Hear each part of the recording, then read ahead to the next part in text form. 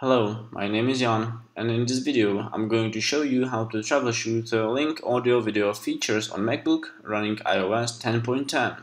First of all, start Safari and navigate to Help, Installed Plugins. Now check uh, if Microsoft Lync Web plugin is already installed or not. If it is installed and you are still experiencing uh, audio video difficulties, you need to uninstall this plugin first.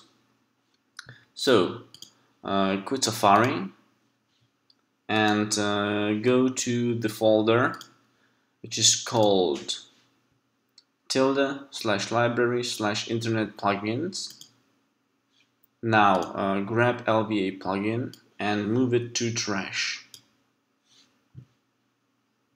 Close uh, the library and uh, go back to Safari, help, install plugins. And voila uh, the Lync web plugin is uninstalled. Now you just need to install it again uh, as I have shown you in uh, my previous video on how to join Lync web uh, meeting.